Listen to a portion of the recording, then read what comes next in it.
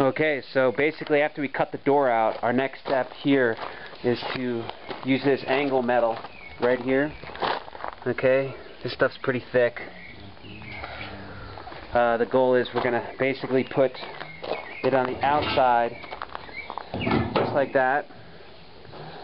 And you'll see us as we weld it, and then you'll see the finished product, how we sort of lay it out on the exterior, and then we switch it on the bottom. Okay, so I'll explain that as we move on.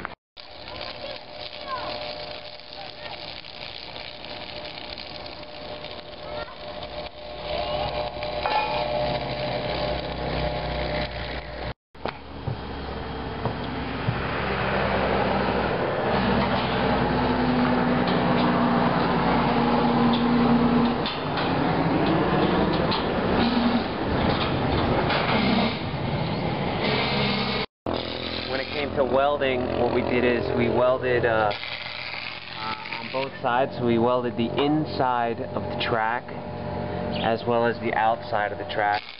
It's not a continuous welder, it's just a spot welder, but uh, it works pretty good. Uh, you can see what we used here. This is these, these are the wheels.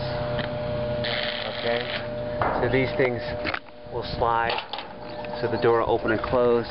This is our support system uh, we kept in this piece of lamina or this this piece of uh, metal because on top of this uh, basically uh, because there's going to be a deck on top and so we want to have as much support as possible. So this will be the size of the door that will install a sliding glass door in.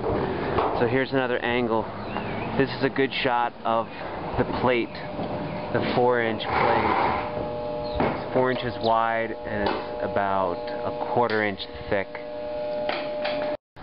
Okay, so what we did here is we basically used a uh, four inch steel plate, put it on top. We put it in we put it in one inch, left a one inch gap, and then what's called the guia, which is the guide for the wheels, basically has um, two inches. Okay, so we extended it down there.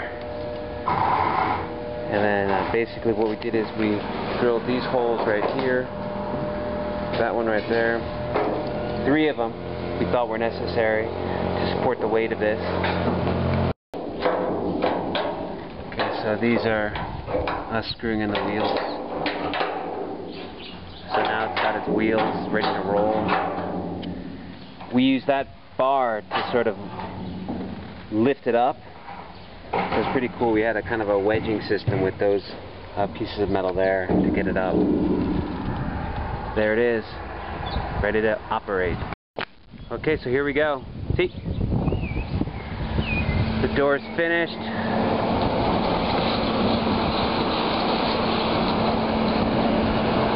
Smooth sailing.